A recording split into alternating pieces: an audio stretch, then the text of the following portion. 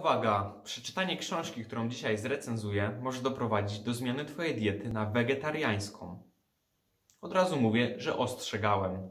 Więc po tym trochę ironicznym wstępie chcę Wam dzisiaj przedstawić tą oto książkę. Jak wiecie, ludzie od lat kłócą się na temat tego, czy zwierzęta odczuwają emocje i inne sprawy tak jak ludzie, czy jednak nie. I tutaj autor tej książki postawił się po stronie zwierząt z tą oto książką. Książka nazywa się Duchowe życie zwierząt.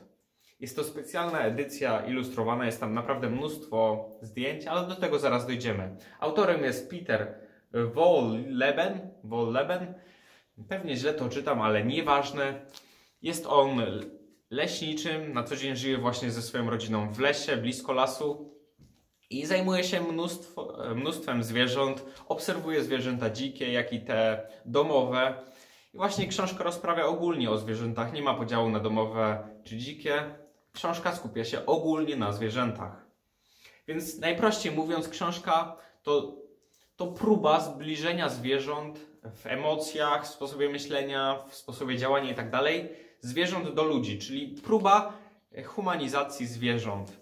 Robi to autor w dwa sposoby. Czasem, w niektórych, w mniejszości sprawach, e, strąca on ludzi z piedestału i próbuje ich zaniżyć do zwierząt, a w innych momentach to zwierzęta pcha on do góry, tak żeby te poziomy się mniej więcej wyrównały. Głównie stosuje on tą drugą zagrywkę, czyli pokazuje, że zwierzęta są podobne do ludzi, ale czasem spycha e, ludzi i pokazuje, że są podobni do zwierząt. I w ten sposób pokazuje duchowe życie zwierząt, czyli to, że mają oni, one pewnego rodzaju duszę, odczuwają emocje i ból tak jak ludzie i próbuje je po prostu humanizować. Autor podpiera się tutaj naukowymi badaniami, ale nie tylko. Stawia on również na swoje własne doświadczenie, które opisuje niejednokrotnie w tej książce. Czyli mamy takie pół na pół. W połowie ta książka jest naukowa. Są tam różne badania naukowe, jest ich chyba 86 przedstawionych w tej książce. Na końcu w bibliografii wszystkie znajdziemy, ale oprócz tego pokazuje on swoje doświadczenia i je opisuje. I tutaj fajne jest to, że on to rozdziela i mówi: To moje doświadczenie to nie jest pewne, to jest badanie naukowe, to już jest pewne. To mi się również podobało, to, że jest przejrzysty w swoim komunikacie i nie próbuje nic naciągać na siłę. To było bardzo fajne. W książce znajdziemy mnóstwo ciekawostek, które dla, dla samego faktu ciekawostek warto już przeczytać tą książkę. Naprawdę dowiemy się ciekawych rzeczy. Więc to również na plus. Przykładowy mit, którego się dowiedziałem, to jest taki, że ryby jednak czują, jak przebijamy im policzek e, haczykiem, bo wśród wędkarzy jest taki mit, że ryby tego i tak nie czują. A tu autor pokazywał i argumentował to badaniami naukowymi, że jednak ryby to czują. Taka ciekawostka, tego się właśnie dowiedziałem z tej książki. Jest tam mnóstwo różnych innych ciekawostek. Właśnie odnośnie zwierząt. Tak jak już mówiłem, to jest edycja ilustrowana, co oznacza, że znajdziemy w niej mnóstwo różnego rodzaju zdjęć zwierząt. To chyba poszerza całą książkę o 100 stron, z tego co mi wiadomo. Tak mniej więcej się to kształtuje. Są tu różne ciekawe zdjęcia zwierząt. Na pewno na plus.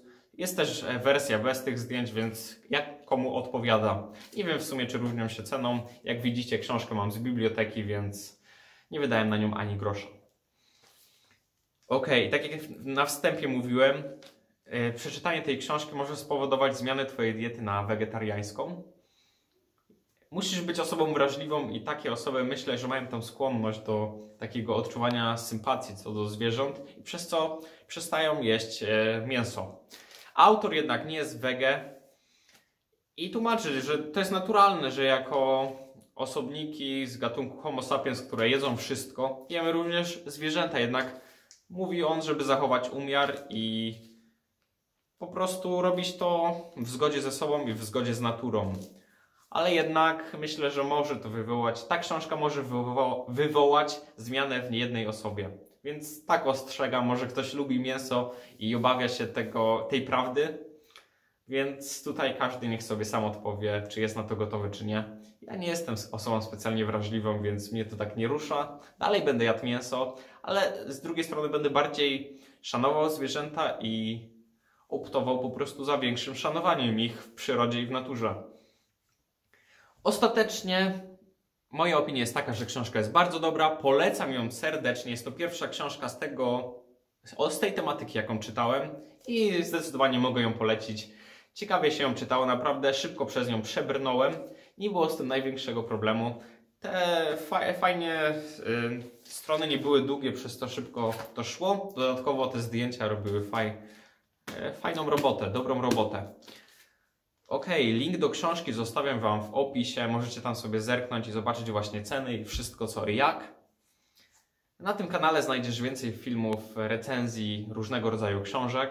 Na moim innym kanale, który również link do tego drugiego kanału znajduje się w opisie, jest bardziej generalne podejście do książek i takie generalne tematy. Tu skupiam się na recenzjach poszczególnych książek. Więc zachęcam Cię do zerknięcia w opis, tam więcej informacji. Dzięki, że dotarłeś do tego momentu. Jeżeli tak jest, to napisz w komentarzu napisz w komentarzu duch, a przypnę Ci serduszko. Na każde pytanie odpowiem. Dzięki, cześć.